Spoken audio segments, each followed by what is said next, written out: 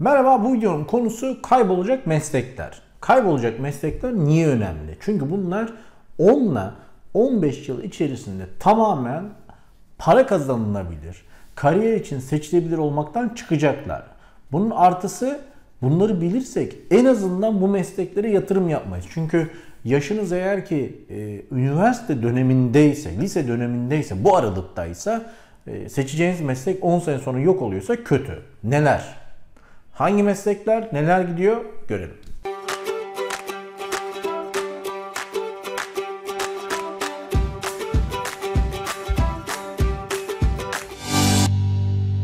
Hoş geldiniz. Bir nolu meslek, bir nolu kaybolacak şey. E, parayla ilgili olan ve insanların inisiyatif verdiği şeyler. Bunların içerisinde muhasebecilik. Şimdi muhasebecilik neden kaybolacak diye bakıyorlar. Şu yüzden artık finansal denetimler daha çok dijital imzalarla, programlarla, böyle defter tutarak falan değil. Özellikle şimdi Türkiye için böyle diyemiyoruz belki ama görmüyorsunuz ama yurt dışında mesela İngiltere'de araba alacaksanız yolda karşılaştığınız zaman adama bir kağıt üzerine bilginizi yazıyorsunuz, veriyorsunuz, mesaj atıyorsunuz, bitti. Yani notere gideyim 55 tane evrak alayım notere o kadar para bırakayım falan yok. 500 tane kaşe şak şak şak 22 kaşe vuruluyor ya.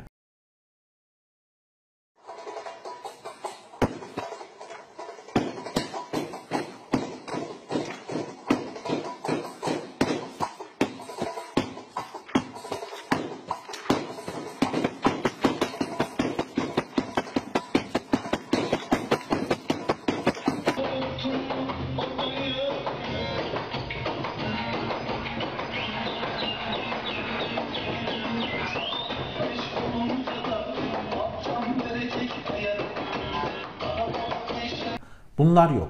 Ve güzel haber noterlik gibi ilginç bir meslekte bitiyor. Zaten Türkiye'de olan ilginç bir meslek. O yüzden de bitiyor. E, noterlik ilginç bir şey. Zaten dijital imza varken niye noter var onu da bilmiyorum. Gidip birini niye şahit kılıyoruz. Ama noterlik mesleği de kalkıyor. Yavaş yavaş bir daha görmeyeceğimiz meslekler arasında. Bir başka konu satıcılık. Tele satıcılık. Aynı zamanda reklam bölümleri de bu alanda küçülüyor. Ajanslar yine duracak belki ama daha bilişime dönecek. Kapınıza gelerek ya da telefonla bir şey satan insanlar bitiyor. Çünkü telefon 2 e, ya da 3 yıl içerisinde farklı bir forma dönüşeceği için zaten şu anda bile telefonu konuşmak için çok az kullanıyorsunuz. E, sizi telefonla birisi arayıp da rastgele ürün tanıtamayacak. Yasal haklarınız olacak. Türkiye'de bir yasa girdi. SMS atamıyorlar güya ama görüyorsunuz çatır çatır SMS atılıyor. İşte onlar gerçeğe dönüştüğü zaman kimse sizi telemarketing, tele pazarlama için arayamayacak. Bir başka meslek aslında meslek grubu.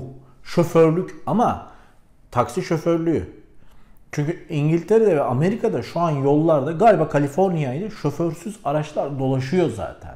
Yani sen biniyorsun taksiye diyorsun ki şu adrese gideceğim götürüyor seni.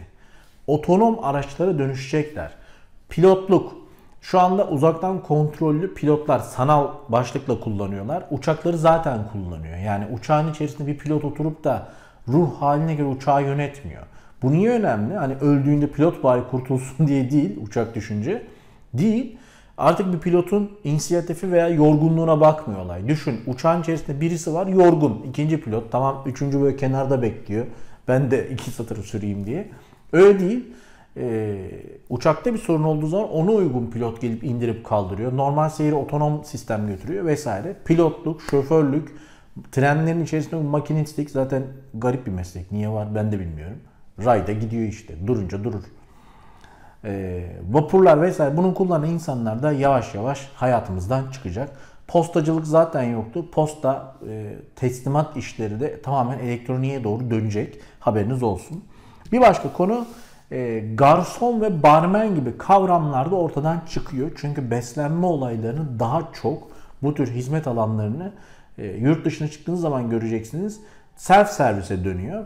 Ne demek istiyorum? Çok bizim ülkemizde yok ama e, İtalya'da, Fransa'da McDonald's'a vesaireye gittiğin zaman şöyle bir soru sorarlar.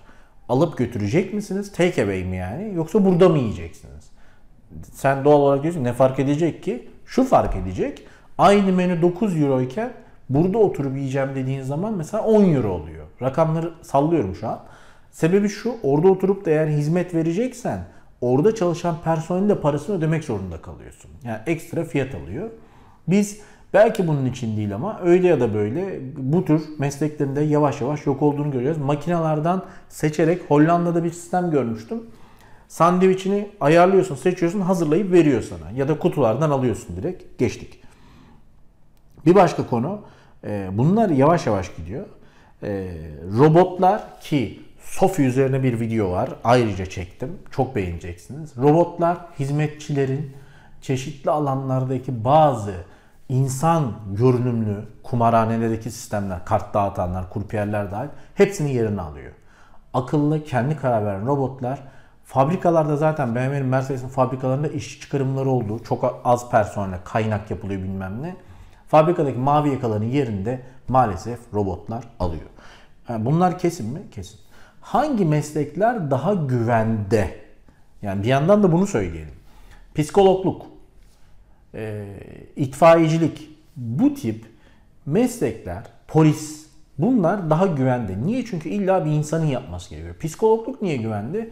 Çünkü karşında ne kadar muhteşem bir yapay zeka olursa olsun sen bir insanın duygu halini anlamak istersin. Birisi seni anlasın istersin.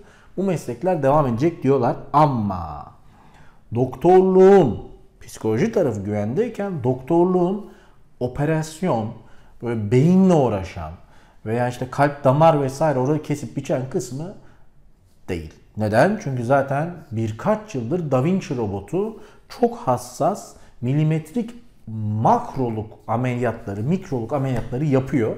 Ee, da Vinci robotunun daha başarılı hale geleceğini, tanı koyup hatta robotların tedavi edebileceğini düşünüyorlar. Burada tıpla ilgili şöyle bir gelişme var. Sanal gözlüklerle doktor başka bir yerdeki ameliyatı yapabiliyor. Ya adam plajda otururken diyor ki dur şunun beynini gıdıklayayım azıcık. Bu da var. Dolayısıyla aslında iş biraz karışık. Bir başka konu şöyle bakıyorum notlardan. E, hakimlik %50 gidecek diyorlar. Çünkü artık insanlar e, belli kurallara daha mecburen uyacaklar. Çünkü mobese kameraları artıyor. Şunlar bunlar artıyor. E, adalet sürecinde de bir personel azalması olacak diyorlar. Avrupa için, Türkiye için bu bir 10 yıl daha sürer. için rahat olsun. E, güvende olan mesleklerden bir diğeri insanlar inanıyor.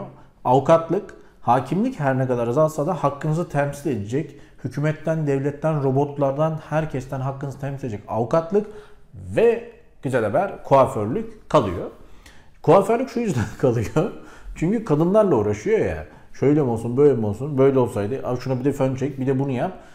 Ee, robot o sistemi kaldıramıyor. Yani 50 terabayt, gigabayt hard disk bile maalesef kadınların o isteklerini yerine getirmeyecek. Şaka yapmıyorum gerçekten kuaförlük güvende gözüken mesleklerden. Bütün bu meslekler içerisinde spor antrenörlüğü, ee, mesela çok ilginç. Şunun için araştırmada şöyle bir şey var. Diyetisyenlik gidiyor diyor. Diyetisyen çünkü cihaza gidiyorsun robot senin kanını ölçüyor, değerlerine bakıyor.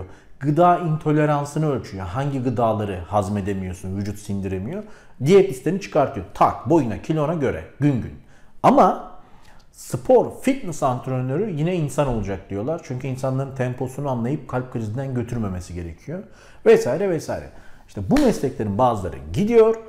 Gidiyor dedim bunda bu artık yok. Zaten bugün postacı kapıya gelmedi diye depresyona girmiyorsun herhalde. Ee, ama yerine yeni meslekler gelecek veya güvende olan meslekler olacak. Ne gibi? Bunu da bağlayalım. Sonra aşağı yorum bölümüne siz fikirlerinizi yazın. Mesela siber güvenlik artan bir meslek olacak. Hani polislik, hakimlik belki biraz daha ilginç ama bu siber korunacaksınız. Antivirüs falan değil. Evinizin, yaşamınızın, bütün evin donatılması gibi. Ee, bir başka konuda sanal yaşam uzmanlığı ki burada bilgim var. Sanal dünya birkaç yıldır e, hemen şu an ekranda görüyorsunuz yaşanılan bir dünya. Burada insanlar gidip paralarını e, sanal dünyaya veriyor. Orada işe giriyor. Sanal olarak Starbucks'ta şurada burada çalışıyor. Akşam da maaşını alıp geri çıkıyor. Linden denilen bir para birimi var bu sanal dünyanın. Ve bu Linden dolarına çevirip orada yaşıyorsunuz. Çok ilginç. Araziler satılıyor bu sanal dünyanın içerisinde. Orada yatırım yapıp parasını 8-9 katına e, katlayan insanlar var. Sanal arazileri, sanal yerleri satın alıyorlar. Çok ilginç şeyler var. İşte bu sanal emlakçılık sanal çalışmalar gerçekten var. Yarının meslekleri de maalesef bunlar oluyor. yapay zeka, yazılım hiçbir şey söylemiyorum. Bugün bir öğrenci bana sorun hocam makine mühendisi mi olayım dediği zaman aman diyorum. Ya mekatronik ol ya da yazılımcı ol. Yapay zekalar, sinir ağları, mobil uygulamalar, 3D uygulamalar bunlara yönelin. Bu yönde gidin. Umarım kaybolacak mesleklerden birine gönül vermezsiniz. Umarım mesleğiniz hiç kaybolmaz. Ben Ümit Katar. Bir sonraki videoda görüşmek üzere.